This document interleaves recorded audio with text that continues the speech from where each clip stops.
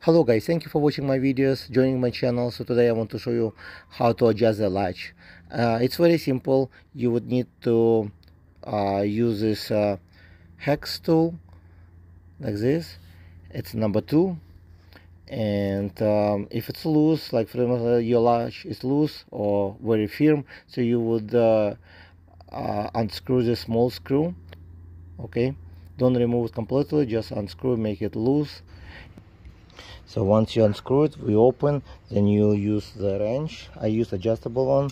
So you make this, this piece will be either loose or you just need to tie, like to move a little bit it will get loose because this screw actually holding this uh, rod okay? And you adjust just a little bit to one side and just keep trying to see which one would be best because okay so it feels good. Because just a little bit twist might completely change make it loose. So it's very sensitive.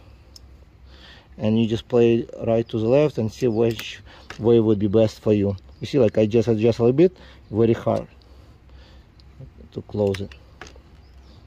Very hard. So you adjust different. Okay now it's good. And what I will do now take this small screw and screw it back. Make sure it tighten up well because basically it will hold the rod in place so it will not unscrew.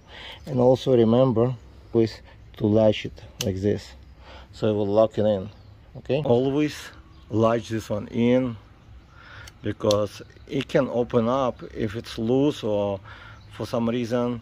So it's always good to latch it this lock okay? Latch lock. And this is a tool you would need to use. Hex.